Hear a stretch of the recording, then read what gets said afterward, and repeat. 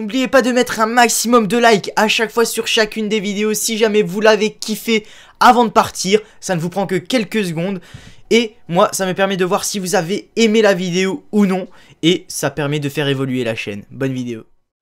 Eh bien salut tout le monde c'est Styro, j'espère que vous allez bien, en tout cas moi je vais très bien les amis, on se retrouve aujourd'hui pour un nouvel épisode du mode pro team sur le Tour de France 2016 Et aujourd'hui on va tout simplement faire, euh, commencer le Tour de France 2020 avec notre équipe. Donc je vous préviens direct, déjà la casquette c'est juste parce que les cheveux en dessous c'est juste pas possible. Je dois tourner à peu près 40 vidéos pour cette semaine, donc vous voyez la vidéo lundi. J'ai jusqu'à euh, vendredi pour tourner à peu près 40 vidéos. Donc là, je vais en enchaîner, je crois que je vais enchaîner 4 épisodes du mode Pro Team, ou 3, je ne sais pas. Euh, mais en tout cas, vous savez que je vais devoir prendre de l'avance ces prochains jours, parce que certes, je me barre pas euh, une semaine ou quoi pendant les vacances de Noël, mais je me barre petit par petit. Déjà, il va y avoir le week-end de, Noël où je serai pas du tout là. Il y aura le week-end de Nouvel An où je serai pas du tout là. Euh, le week-end qui arrive, ce, week-end-ci, je serai pas là non plus. Un autre, euh, un autre moment, pendant la semaine, je serai pas là deux jours. Donc, je suis pas là pendant plein de moments, donc je dois prendre beaucoup d'avance. Également, le fait que les vacances en Belgique soient en décalé par rapport en France, c'est-à-dire que vous, il vous reste deux, semaines de cours. Nous, il nous en reste trois. Euh, je crois, ouais, il nous après celle-ci, il reste deux semaines de cours, donc euh, nous, nos vacances, ça commence du 23 jusqu'au 9 janvier. Vous, c'est du 17 au, 2, je crois, un truc ainsi. Enfin bref, c'est en décalé d'une semaine. Du coup, je dois prendre beaucoup d'avance pour euh, la chaîne. Euh, donc, je, vais carburer, sachant que là, il est 2h du matin. Je vais essayer d'en tourner 4. Donc, je pense que hein, la nuit blanche, vous la sentez venir. Donc, allez. Donc, si vous j'espère que vous comprendrez également que ben, les vidéos qui vont venir seront un peu plus courtes que d'habitude. Voilà, juste. C'est-à-dire qu'au lieu d'être aux alentours de 30 minutes, on sera peut-être aux alentours de 20-25 minutes. Donc on va faire aujourd'hui Utah Beach, Octeville et Angers. On va faire trois étapes. Euh, la prochaine fois, on fera Cambrai et euh, deux étapes. Et puis voilà, allez, on va pas perdre plus de temps que ça. J'ai assez parlé en début d'épisode et on est parti pour la première étape de ce Tour de France. On espère que ça va bien se passer avec Romain Bardet. Il n'y a pas beaucoup d'étapes de montagne, mais on espère avoir les bonnes formes au bon moment. C'est vraiment ça qui va faire euh, si on va réussir notre tour ou pas. J'ai également regardé la note en pavé de Romain Bardet, parce que je ne la connais pas du tout. Euh, j'ai parlé un peu avec Alex en privé, il m'a dit que les légendes étaient très très chères, donc j'espère qu'on va arriver à faire une full légende pour notre dernière saison. Pour ceux qui savent pas, la saison prochaine, si on a les légendes, je vais faire une saison avec Schleck euh, déjà bardé en pavé, c'est 70, ça passe. Et voilà, ça m'arrange qu'il ait une forme dégueulasse ce jour-là. Ça m'arrange plutôt bien. je vais prendre Sagan. Donc, comment dire? Je sais pas ce que je vais dire. Ouais, euh, non, j'ai perdu ce que j'allais dire. Waouh ça, ça commence très très bien cette vidéo. Ouais, oui. Alors, la prochaine saison, je vais faire 4 saisons avec les légendes en tout. La première sera avec Schleck et Vance, pour rappeler un petit peu l'époque 2010, 2011, 2012. deuxième saison, ça sera soit avec Ino, soit avec Merckx en leader. Troisième saison, le contraire. Si on a pris Merckx, à la deuxième saison, on prendra Ino, et le contraire. Et une dernière saison où on se fait plaisir, on se fait un petit kiff avec une full légende, avec Ino et Merckx en leader, enfin bref, on va se faire kiffer. Donc, euh, donc voilà, donc le, Pro Team est loin de, s'arrêter par rapport à l'année dernière où on n'avait fait que deux saisons avec les légendes. Là, il va durer plutôt pas mal de temps. Donc voilà, je tenais à vous informer là-dessus. Allez, on a à 4 km du sprint intermédiaire de cette première étape avec Peter Sagan. Et profitez hein, de ce maillot de champion du monde parce qu'on va pas le voir souvent. Euh, enfin, j'espère, hein, je, je fais l'arrogant là. Bon, ça tombe, je on va rien avoir comme maillot avec Sagan, mais on va essayer d'en profiter de ce petit maillot euh, arc-en-ciel parce que ben, on l'a pas vu beaucoup euh, durant le Dauphiné et j'en ai, bien peur qu'on ne le verra pas beaucoup tout au long de, notre carrière, n'est-ce pas? On, en profite, on, le voit là, on, se fait un petit kiff avec Peter. Par contre là, ça roule pas du tout. Ah, ça y est, Roland qui démarre au moment où je démarre. Allez, ça emmène. Allez, allez, allez. Dans le sillage de Alexander Christophe, peut-être? J'aime pas le positionnement que j'ai. Oh là là, voilà, bloqué. C'est pas grave. Troisième place, juste derrière de Genkolbe Matchouz. J'avais pas vu, il y a que Morkov devant. Échappé solitaire aujourd'hui, écoutez. Écoutez, écoutez. Et on a pris deux minutes sur le peloton. Quand même, c'est pas mal. C'est pas mal. Aussi, je vais en profiter tant qu'on est ensemble. Euh, vous parlez de mes objectifs sur ce tour. Ça va être bien évidemment, je pense que vous en doutez un petit peu, le maillot jaune avec Romain Bardet. Le maillot vert avec Peter Sagan. Pourquoi pas la combativité, pas mal de victoires d'étape. Après, est-ce que je joue un maillot à poids ou pas? Je ne sais pas encore, honnêtement, je ne sais pas.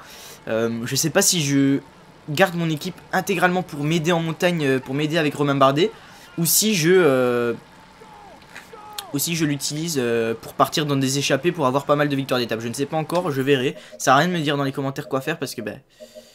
je vais dire va coach de rouler. Parce que, ben, tout simplement, j'ai déjà tourné quasiment la moitié du tour, quoi.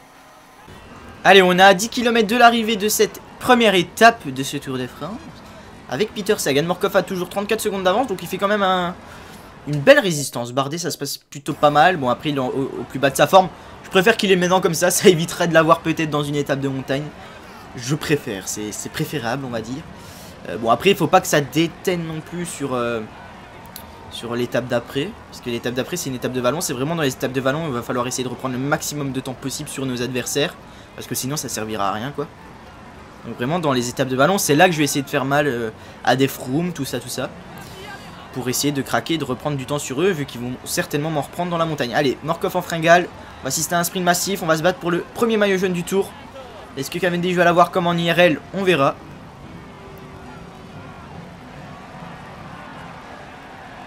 J'ai donné les ravitaux. Ça sert quasiment à rien, mais... Voilà quoi, c'est toujours sympa je suis peut-être un peu trop haut là. Ouais, ouais, je suis peut-être un, poil trop haut là avec Peter. Bon, je vais prendre mon gel bleu même s'il me sert à rien, juste pour le pim de dire d'avoir toute sa barre bleue. Allez là, peut-être se mettre dans la roue de Julien. Ah, il lance maintenant, c'est pas tip top. Pas tip top, je suis un peu dans le vent là, j'aime pas.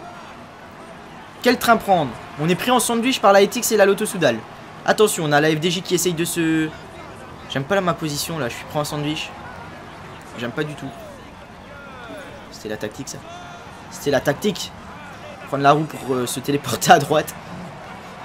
Ah, la Cofidis qui remonte. Ah, la Philippe va me bloquer, je le sens venir gros comme une montagne. Allez, on déborde sur la gauche là. Oh là là, Greipel s'est complètement fait bloquer, ce qui m'a gêné un petit peu également. Ah non, on ne gagnera pas. On ne va faire que 7ème. Oh là là, ce sprint de merde, on ne fait que 7ème de ce sprint. Valverde, je rêve où il fait un top 10. Le non-respect. Bah écoutez, sprint de merde, voilà. Ça arrive de passer à côté de ces sprints. De finesse, ça s'était plutôt bien passé, surtout nos sprints. Là, je suis un peu passé à côté. Un peu déçu. Du coup, pas de maillot. On ne fait que 7. Quand tu vois que Greipel en mauvaise forme fait devant nous, voilà, c'est pas tip top, mais bon, j'ai pas eu un... Je me suis pas bien placé, tu vois que Valverde fait 15, voilà quoi. Euh, notre ami Romain ne perd pas de temps, ça c'est pas mal. Et du coup, Marcel Kittel, premier maillot jaune devant John de Gencol, mais Marc Cavendish. Boigny 4. Niveau récup bardé, c'est impeccable. Et du coup, on est tout de suite parti pour Cherbourg-Octeville, la deuxième étape de ce Tour de France. Il va falloir reprendre du temps sur cette étape. C'est les étapes là qui nous conviennent le mieux, donc va falloir faire du lourd. Je vais mettre en place une tactique, et vous voyez que dès bah, à 40 km de l'arrivée, déjà, j'ai commencé à rouler avec mon équipe, et pas qu'un peu. Vraiment, je fais mal à barder, mais c'est pas grave. Vraiment, le but, c'est aussi de faire mal aux autres. Euh, et je pense que là, avec cette, tactique, cette pardon, va pas mal fatiguer les, non-punchers. Et pouvoir peut-être prendre plus de temps dans le final, car ils seront un peu plus émoussés que, d'autres. Donc, euh, donc on verra. Je vous ai pas montré le sprint intermédiaire tout simplement parce que je l'ai loupé. J'étais dans, je sais pas, j'étais distrait. Et euh, j'ai vérifié un truc sur mon PC et ça a passé le sprint intermédiaire. Donc je suis désolé mais vous l'aurez pas et j'ai perdu encore des points. Donc pas terrible début de tour avec Sagan. Hein. Pas tip top tip top. Et regardez, mon travail est en train de payer. Certes, je suis mal avec Bardet, mais dans la descente, on va récupérer, pas de souci. Et Pino, Quintana, Haru sont déjà lâchés. Donc ça, c'est déjà un très gros point. Certes, on n'a plus que Guillermo Rogers.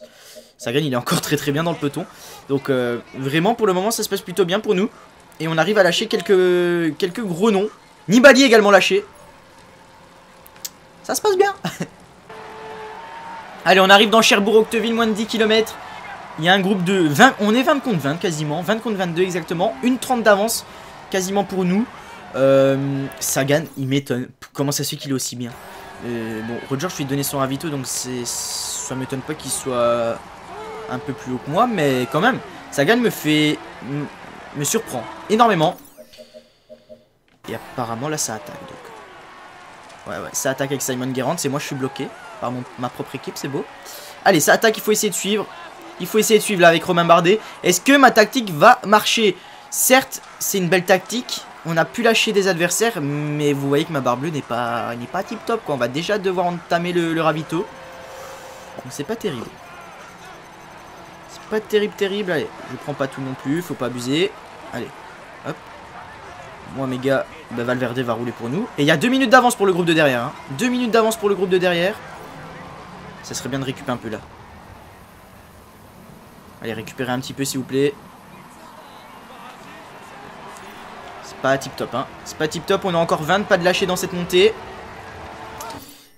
Et Sagan, ben, Sagan, voilà quoi.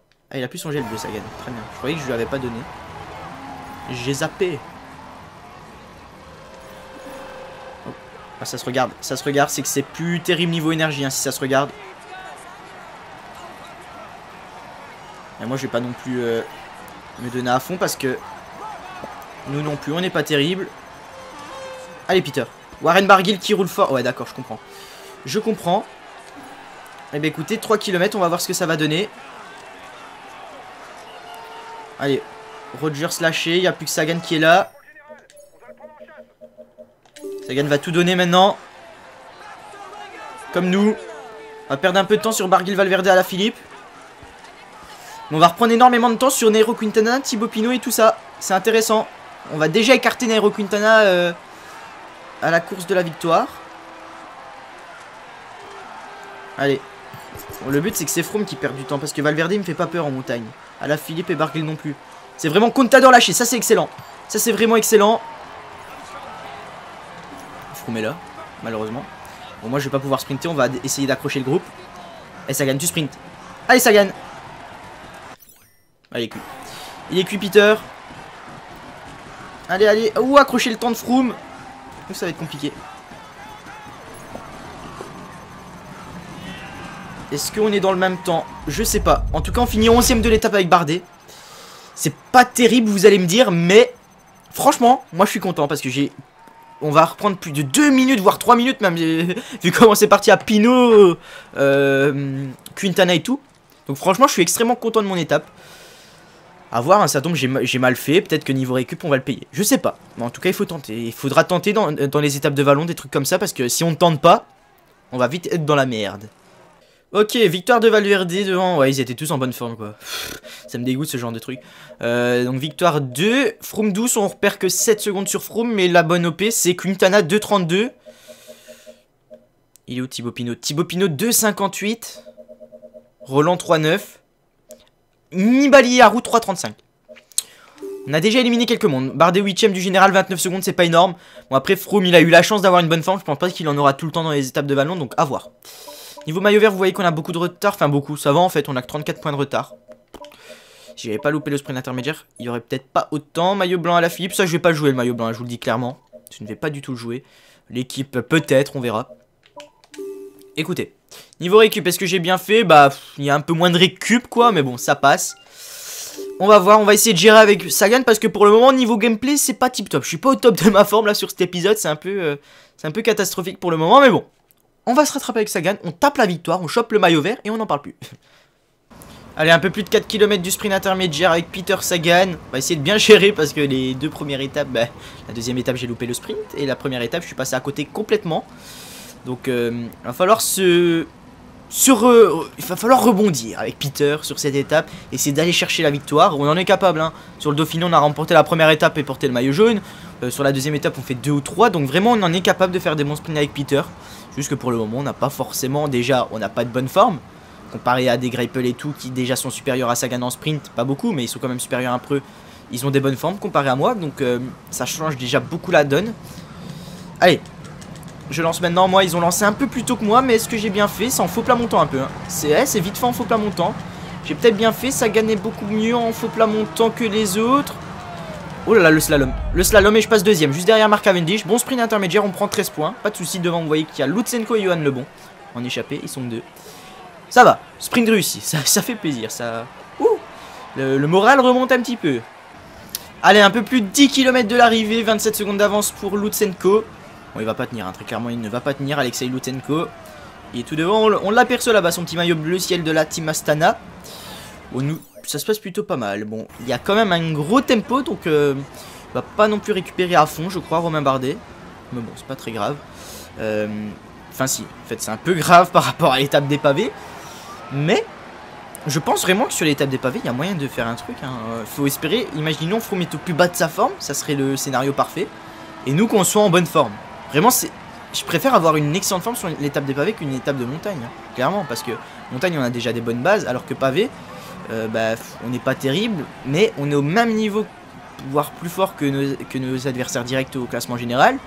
Donc si on a une excellente forme, on peut faire très très mal et reprendre énormément de temps, genre 3-4 minutes au moins. Et c'est pas négligeable dans, dans, dans le, un temps pour le général, vraiment. Donc bon, allez Martine qui emmène, genre, je vais donner le ravito à tout le monde, tout ce beau petit monde. Par contre les, pourquoi, je comprends jamais pourquoi je, quand donne les ravitaux, ça enlève les protections. Non. Voilà. Et Petre, la coach tu emmènes, comme s'il m'emmenait, hein, je vous l'ai déjà dit, cette tactique. Cette technique, vous vous mettez à fond avec quelqu'un en protection et c'est comme s'il vous emmenait. Bon, après, il faut pas prendre la roue parce qu'il s'arrête aussi, je crois. Ah non. Non, non, il s'arrête pas. Très bien. Je savais pas. Ben voilà, une nouvelle technique. Allez, Boonen qui débarque. J'ai peur, qu'il me gêne un peu la pêtre. Mais bon, là, ils mettent plutôt pas mal. Ils mettent même énormément bien. Regardez, il s'est arrêté vite fait. Parce qu'il a plus de, gel rouge. Et je voulais à la Philippe qui est bien là, qui emmène très certainement Marcel Kittel. Wassenhagen qui emmène Mark Cavendish, mais Mark Cavendish est dans ma roue. Allez là, on, est dans la roue de Mark Cavendish avec Peter Sagan. Attention, attention, attention. Allez, on prend le sillage de Mark Cavendish. Ça peut être bon, ça, ça peut être bon. On essaye de le déborder. Allez, allez, allez, Peter. Aïe, aïe, aïe. On fait deuxième comme lors du sprint intermédiaire. Derrière, Mark Cavendish. Ah, je suis dégoûté. J'aurais pu démarrer un peu plus tôt parce que vous avez vu que sur la ligne, il me restait encore un poil de barre rouge. Je connais cette étape. Hein. On l'a joué je sais pas combien de fois, comme toutes les étapes de jeu en général. Mais ouais, je savais que c'était en faux plat descendant la fin, donc j'aurais peut-être pu démarrer un poil plus tôt. Euh, tant pis, deuxième place, c'est déjà mieux. Moi, il est en excellente forme, c'est un peu logique. Cavendish déjà après la mise à jour. Ah non, on n'est pas après la mise à jour, je dis de la merde. Mais Cavendish de base, c'est déjà l'un des meilleurs sprinters. Alors en excellente forme. Voilà quoi, Bardet fait 17, c'est pas mal. Du coup, au général, pas de changement. 8ème, toujours. Ah What? Ah non, c'est à la place, très bien. Je me suis dit, what the fuck? Maillot vert, on remonte troisième à à peine euh, bah, 24 points de Mark Cavendish. Ça m'étonne, c'est bizarre. Mais c'est bizarre parce qu'il a fini deux fois devant nous au sprint intermédiaire. Ah mais c'était pas lui leader, d'accord, non je dis la merde c'était Kittel, très bien. Ouais non, tout va bien alors, 20, 24 euh, points de Mark Cavendish, c'est plutôt pas mal, c'est plutôt bien. écoutez, je sauvegarde une deuxième fois. Et je vais m'arrêter là pour aujourd'hui. Comme je vous l'ai dit, hein, je sais pas combien de temps elle fait la vidéo, moi c'est 45 minutes parce que j'ai pas mal joué sur la deuxième étape, mais ça va être sûrement des vidéos un poil plus courtes. J'étais aux alentours de la trentaine de minutes généralement, là on va être autour de 20 minutes. Euh, un peu comme on a fait au mois de juillet, quand j'étais parti en vacances. Donc écoutez, la prochaine fois on fera l'étape 4, 5 et 6, trois étapes encore. En tout cas, j'espère que cette vidéo vous aura plu. N'hésitez pas à laisser un maximum de pouces bleus si vous avez aimé, à vous abonner si ce n'est pas encore fait, et à me rejoindre sur tous mes réseaux sociaux. Tous les liens sont dans la description. Et nous, on se retrouve très vite pour la suite. Portez-vous bien, et à la prochaine. Ciao, ciao